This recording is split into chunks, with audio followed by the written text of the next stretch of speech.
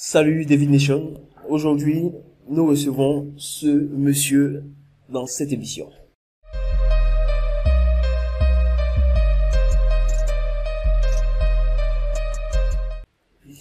Bienvenue à l'émission Les entrepreneurs s'interrogent. Et donc pour les, je dirais les 13% de personnes dans mon audience qui ne te connaissent pas, est-ce que tu peux te présenter? Ouais, moi c'est Nzi Georges Amand, CEO d'Injom Security, euh, spécialiste de, l'ethical hacking et puis bon, passionné de l'informatique voilà, et de l'entrepreneuriat. Exactement. Oui, et puis Georges, bon, on s'est connus, on se connaît ça fait combien de temps maintenant? Ça fait bon, on peut dire plus de, plus de, ça fait 5 ans, 5 à 6 ans comme ça. Exactement, ça fait plus de 5 ans donc. Euh, on a tous deux la même passion pour l'informatique. Et aujourd'hui, on se retrouve dans le cadre euh, de l'enregistrement de son atelier. Il va tenir un atelier très bientôt pour euh, tous les amoureux de la sécurité informatique, euh, plus précisément en En ethical hacking. exactement euh, avec Kali Linux. Ouais, le, Exactement. Donc- Kali Linux. Exactement. C'est très intéressant. Euh, c'est l'outil indispensable pour tous ceux qui veulent apprendre l'ethical hacking. En tout cas, c'est c'est l'outil indispensable. Très bien. Donc, c'est dans ce cadre qu'on se retrouve. Donc, j'en ai profité en même temps pour échanger avec lui euh, sur l'aspect de l'entrepreneuriat. Parce que comme tu le sais, nous deux, on a dû faire des choix. On travaillait tous deux pour des entreprises, quitter le confort. Ou bien, voilà, le soi-disant confort, et en plus, le soi-disant confort du, euh, du salaire pour se lancer dans l'entrepreneuriat. Donc, pour ceux qui pensent que c'est facile, qu'est-ce que tu as à leur dire? Ah, ce que je peux leur dire, c'est que c'est pas facile. Hein. Il faut persévérer. Euh, avant toute chose, il faut avoir une vision, une vision claire de ce que tu veux pour toi-même dans ton avenir. Euh, comme tu l'as dit, nous avons dû faire des choix. Et ces choix-là, c'est parce qu'on a fait un constat. En fait, euh, il y a une graine en nous, il y a quelque chose en nous comme une soif qui demande à ce qu'on se lance pour matérialiser un peu de notre rêve, nos idées. Et c'est dans ce cas-là que moi-même, tout récemment, j'ai dû libérer un peu du, le confort du salaire pour, pour me relancer dans l'aventure de l'entrepreneuriat. Ouais. En tout cas, qui est, je pense que l'émergence 2020, au fait, euh, demande à ce qu'on soit tous des entrepreneurs. On soit tous des entrepreneurs. Qu'on quitte dans le confort de chercher forcément à avoir un travail, pour travailler à quelque part. Je pense que même des jeunes, comme euh, c'est le cas de Old School, par exemple, peuvent se mettre ensemble, plusieurs, pour monter une entreprise, pour monter une structure, pour lancer un projet. Je pense que c'est c'est un exemple à suivre, au fait. Et puis, c'est Old School même qui m'a, qui m'a motivé même à revenir encore sur le marché. hein. Ah, c'est cool, c'est cool. C'est cool. D'accord. Voilà. Voilà. Donc c'est ça. Donc avoir une vision claire. Donc c'est pas du tout facile. Donc avant de se jeter, je dis toujours aux gens, avant de vous jeter dans l'entrepreneuriat, il faut que vous sachiez ce que vous voulez faire. Et pour savoir ce qu'on veut faire, on n'est pas forcément obligé de faire ce que les autres font. Comme, comme euh, j'aime bien le dire aussi, regardez-vous dans un miroir, on se regarde dans un miroir et on se demande qu'est-ce qu'on veut faire pour le restant de notre vie? Et on fait ça. C'est clair. Et, et tu es d'accord avec moi, on peut aimer deux, trois, quatre choses à la fois. Donc, si vous aimez, si vous avez deux, trois, quatre passions, prenez six mois, hein, euh, deux passions par an, essayez-les, voyez ce qui marche et mettez-vous à fond dans ce qui marche. D'accord? Et est-ce que tu peux un peu parler de ton parcours? Euh, je, Il est assez atypique. Euh, comment Est-ce que tu peux expliquer comment du BTS tu t'es retrouvé à Houston? Oh, bon, ce parcours-là, c'est un parcours bon. Assez atypique. Bon, atypique, bon, si on veut dire. Bon, en fait, moi, je suis passionné de l'informatique depuis toujours, depuis même que j'étais au lycée. Je bidouillais un peu l'électronique, les fers à souder, traîner un peu à la ferraille, prendre des choses et puis manipuler. Bon, j'avais ça en moi. C'est ce que j'aimais, c'est ma passion. Donc, euh, comme tu le dis très bien, on s'est connus aux c'était années de BTS. Après le BTS, bon, j'avais le rêve d'apprendre, d'apprendre encore plus. Mais je savais que aller aux États-Unis, c'était en tout cas un peu du- le saint graal un peu pour moi pour apprendre des nouvelles choses. C'est le boom. Voilà. Donc, euh, par la grâce de Dieu, j'ai passé un concours organisé par l'ambassade américaine. Euh, par la- CCIP. Le CCIP. Donc, par la grâce de Dieu, j'ai été retenu. Et donc, j'ai eu la chance d'aller étudier dans l'une des meilleures écoles de Houston, où j'ai appris la cybersécurité. Voilà. Mais Donc c'est cette passion-là, voilà. aujourd'hui, qui est en train de changer ta vie. Euh, Voilà, qui est en train de changer ma vie. Mais étant donné que, comme ça, bon, faut avoir une vision large et puis faut, être, faut, faut aimer le travail. Donc, je me suis en même temps, j'ai profité pour me spécialiser aussi en Microsoft pour apprendre l'administration des serveurs au niveau de Microsoft et j'ai eu aussi une certification à ce niveau-là. Ce niveau-là. En tout cas, moi, moi personnellement, quand j'ai appris la nouvelle, j'étais très content, je sais. Et aujourd'hui, c'est ça qui est en train de changer ta vie. Alors, cybersécurité. Quand on veut entreprendre en cybersécurité, quels sont les différents, dans quoi, par quoi on peut commencer quand on veut entreprendre en cybersécurité? Pour, pour, pour ceux qui te regardent, qui nous regardent et qui ont la même passion que toi pour la cybersécurité. S'ils veulent entreprendre, ou bien gagner leur vie, ils peuvent commencer par quoi? Hmm, bon. Moi, si je prends mon cas bien précis, je pense que euh, avant de commencer en cybersécurité, il faut avoir d'abord une base à quelque part. Moi, dans mon cas, c'est une base au niveau des réseaux informatiques. Donc, euh, du coup, en commençant, moi, j'ai plutôt commencé en tant que freelancer à proposer des services dans le domaine des réseaux informatiques.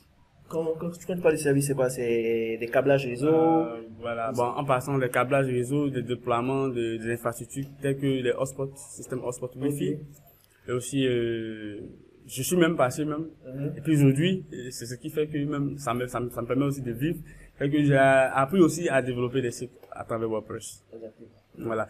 Donc du coup, lorsque j'utilise mes compétences de base, c'est-à-dire que si je prends l'installation des réseaux informatiques et puis aussi des développements au niveau de WordPress, je peux maintenant proposer des services plus complets en introduisant la cybersécurité. C'est-à-dire pour ceux qui veulent développer, ceux qui ont déjà des sites web existants, on peut leur proposer de sécuriser ces sites web par exemple.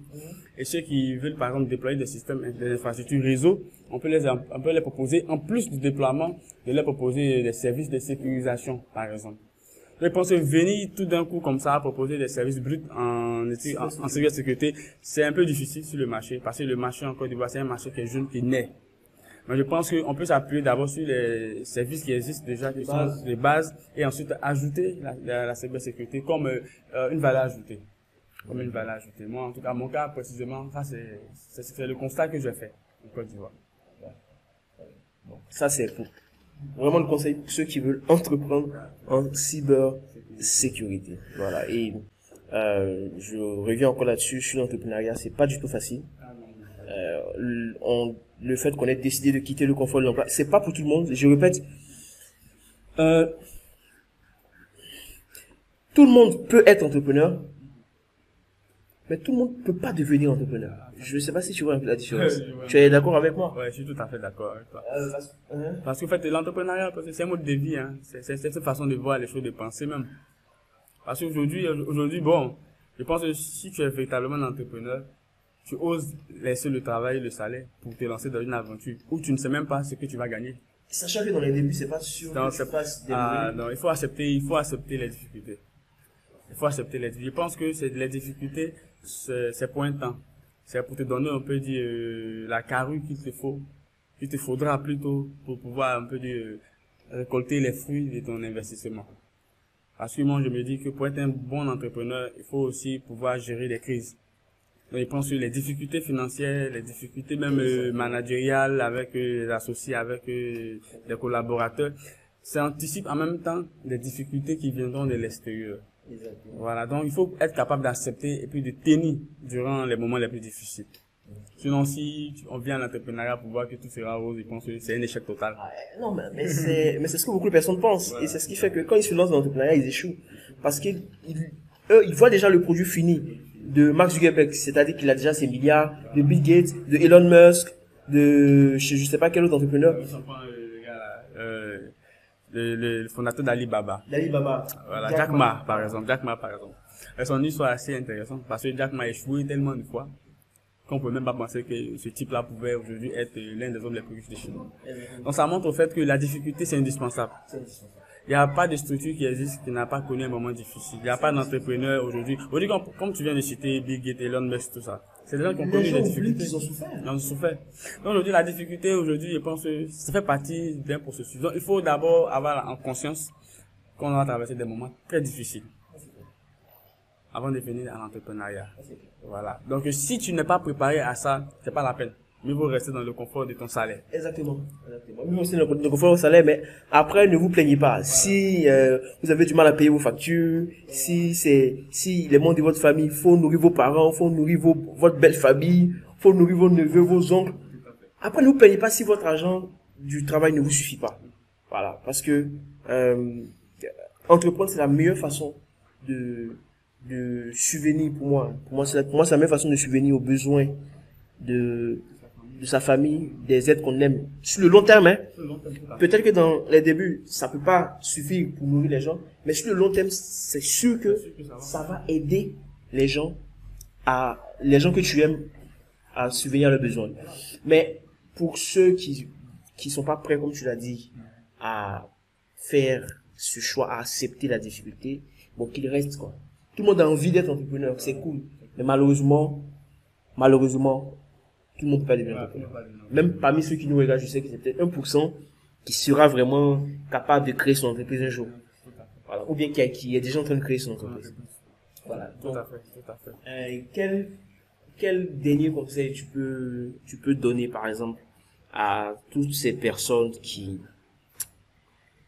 qui sont en Afrique ici et qui euh, se demandent si l'entrepreneuriat est la voie pour se développer. Est-ce que c'est vraiment une voie intéressante Surtout les jeunes qui sont euh, en fin d'études, euh, par exemple, ou je sais pas, qui sont un carrefour de leur vie, ou vraiment c'est le moment pour de prendre de grandes décisions?